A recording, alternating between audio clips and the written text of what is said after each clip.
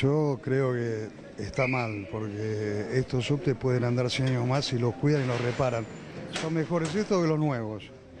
Además es un patrimonio nuestro y estamos, yo creo que estamos este, perdiendo tanto el patrimonio cultural como todo lo que es patrimonio en general. ¿no? Recién sorprendía, veíamos muchos extranjeros sacándole fotos justamente a los vagones como una atracción turística. Ese fue, fue el primer subte de Latinoamérica y sigue siendo un orgullo para nosotros. Lo que pasa es que ahora los pin- encima los pintan por fuera, los pintan todo, en vez de cuidarlos y estar orgullosos de lo nuestro, ¿no? Toma con frecuencia la línea. A. Todos los días, todos los días. ¿Dónde vive? En Floresta, ¿Y viene al centro a trabajar? trabajo en el centro, sí. ¿Cómo tomó la noticia que se iba a quedar dos meses sin la posibilidad de usar el servicio? Y va a ser bravo porque los colectivos yo creo que van a ir repletos, ¿no? ¿Cuál va a ser el medio de transporte que va a utilizar? Y colectivo, lo único que queda. Es el subte que más uso.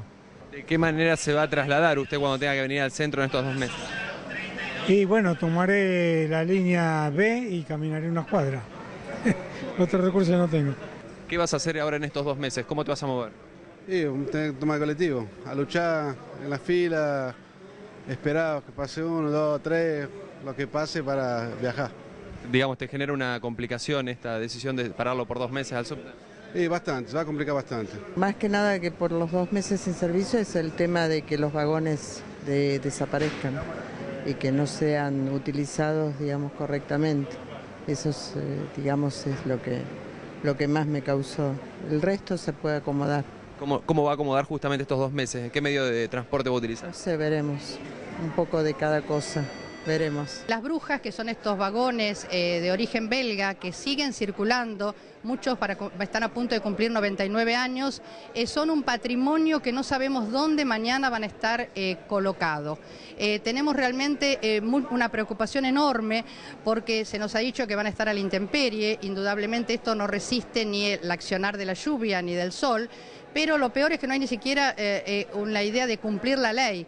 O sea, nosotros creemos primero que hay que cumplir la ley, que son eh, las 12, este, los 12 coches que ya están protegidos, pero también lo que decimos es que estas formaciones deben seguir en uso. Esto es terrible. Desde el punto de vista, eh, es decir, eh, se hicieron reformas en su momento y no hubo necesidad de cerrar el subterráneo, como tampoco hubo necesidad de cerrar por mucho tiempo la línea de Sarmiento cuando se hicieron las mejoras. Es decir, acá hay un plan alternativo que podría ser que el subte empezara un rato más tarde, utilizar la noche o, como dicen los metrodelegados, eh, partir la- eh, el recorrido de manera que una parte del recorrido siga siendo usado eh, para transportar pasajeros y la otra parte para poner en condiciones estos, estos nuevos coches. Es decir, cerrar durante dos meses y eh, privar a los porteños de un servicio esencial que se utiliza para que todos los días vayamos a trabajar es realmente absurdo.